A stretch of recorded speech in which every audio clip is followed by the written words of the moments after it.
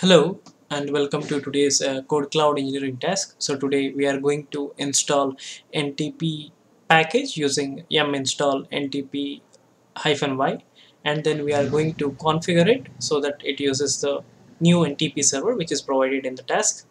Please be aware that uh, these parameters are dynamic so please go carefully on the parameters which are given in your task.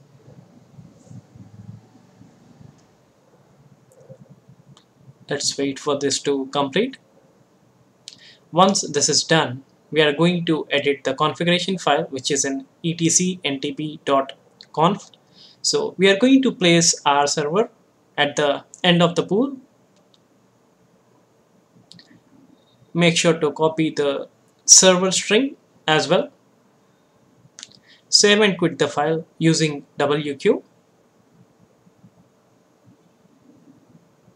let's try to enable uh, NTPD and I also start it and see the status.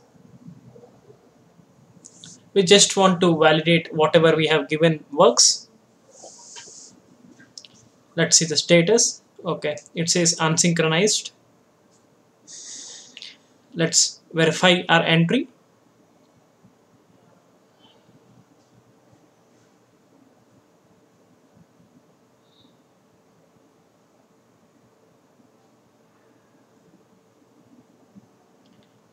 let's try to restart the service.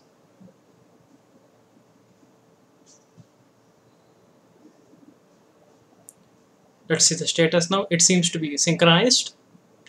So once you see a synchronized you can uh, click on check.